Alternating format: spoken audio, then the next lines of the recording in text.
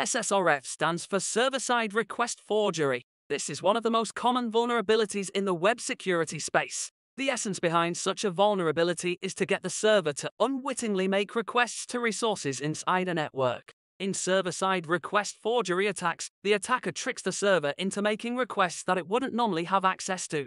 This can lead to various security risks and the potential exploitation of sensitive information. In some cases, successful server-side request forgery attacks can lead to more severe consequences, such as executing arbitrary code on the server, which can be highly damaging. This is called remote code execution.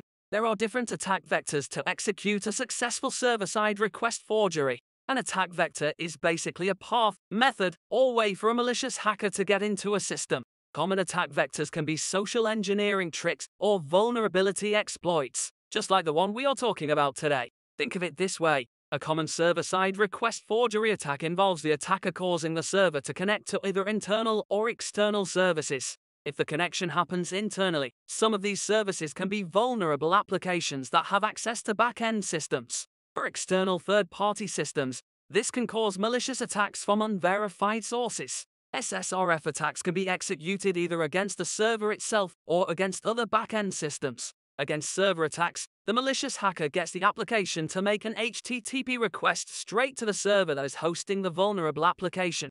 This can happen via a malicious URL, but the back-end systems, the application on the server can connect to systems that are not reachable by users. These systems can have special functionality that works without the need for authentication by anyone. This video should give you a basic understanding of the server-side request forgery vulnerability. Remember to enable multi-factor authentication Stay safe, and I will see you in the next one.